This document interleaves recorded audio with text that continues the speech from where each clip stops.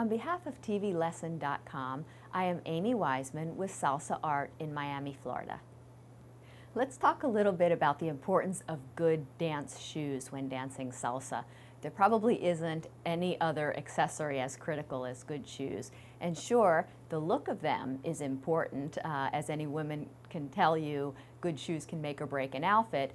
But more importantly in dance is the functionality of the shoe.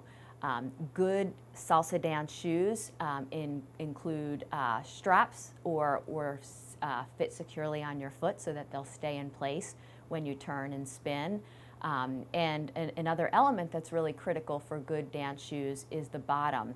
The shoe needs to be able to slide and turn comfortably, so you want dance bottoms that are going to allow you to do that. Leather and suede bottoms are ideal. Sometimes you can get away with a hard plastic um, as long as it allows you to move comfortably. It's not halting.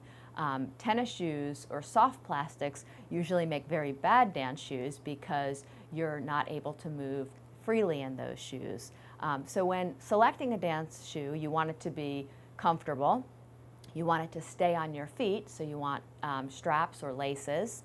Um, you want a bottom that's going to allow you to turn, and sometimes different settings um, work better with different bottoms. For example, wooden floors tend to work very well with a suede leather bottom, and tile types of floors tend to work better with um, a hard leather bottom, so it, uh, it varies a little depending on the venue. Um, but the idea is you want shoes that are going to allow you to move and spin and then look appropriate to the outfit that you're wearing. So I can't stress enough how important good dance shoes are to make a good dancer.